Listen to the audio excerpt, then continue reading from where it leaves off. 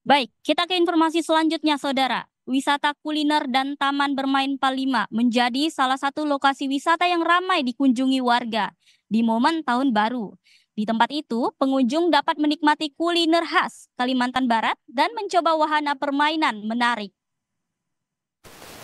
Mengisi libur akhir tahun, warga kota Pontianak beramai-ramai menyerbu wisata kuliner dan taman bermain Palima yang berlokasi di Jalan Tabrani Ahmad, Pontianak. Tempat wisata berkonsep kuliner serta taman bermain itu baru beberapa bulan berdiri. Tapi antusiasme warga Pontianak datang ke lokasi untuk bersama keluarga sangat tinggi. Pengunjung mengaku sering berwisata karena tertarik dengan konsep wisata kuliner dan taman bermain yang menyenangkan. Ada sejumlah wahana permainan yang dapat dicobai pengunjung bersama keluarga, mulai dari jumping, balon air, bom-bom car, bumper car, dan dino car. Sementara wahana yang menjadi favorit adalah rainbow sled Pengunjung bahkan rela antri demi menaiki wahana yang satu ini. Oh sangat uh, bagus sekali bang ya untuk akhir tahun ini ya bagi anak-anak butuh sekali hiburan ya kan. Di sini banyak sekali tempat permainan untuk anak-anak dan keluarga juga bisa menikmatinya ya kan. Jadi senang juga lah anak-anak ada tempat sarana dan bermain di sini ya kan. Banyak juga teman-temannya berkumpul di sini saling bertemu ya kan dalam hari-hari libur ini. Sangat terjamin untuk membawa satu keluarga di sini lagi kan ini kan wisata baru ya, berarti kunjungannya semakin ramai di sini. Kalau kakak sendiri eh, di sini dengan siapa aja kak? Satu keluarga saya. Kenapa memilih tempat ini nih? Karena wawasannya luas di sini. Untuk bawa anak-anak pun seru kan banyak wahananya di sini.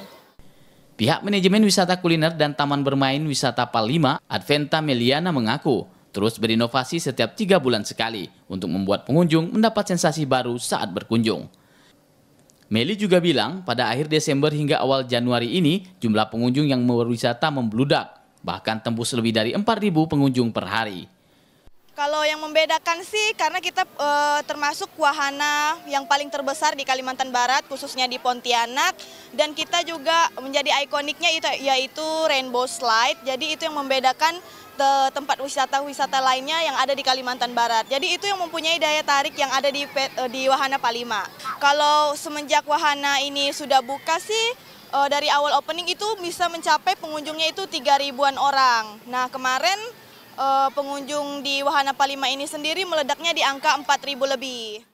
Untuk masuk pengunjung cukup membayar Rp25.000. Sementara untuk wahana permainan ada yang gratis, ada pula yang memerlukan tiket masuk dari mulai Rp10.000 hingga Rp50.000. Wisata kuliner dan taman bermain Palima ini dibuka setiap hari dari jam 1 siang sampai jam 9 malam. Pihak manajemen pun memastikan akan menambah lebih banyak wahana permainan dan memberikan lebih banyak menu kuliner lokal khas Kalbar. Tim Liputan Kompas TV Pontianak, Kalimantan Barat. Baik, demikian cerita Nusantara dari Kota Pontianak, Kalimantan Barat. Kembali ke studio Gita. Terima kasih.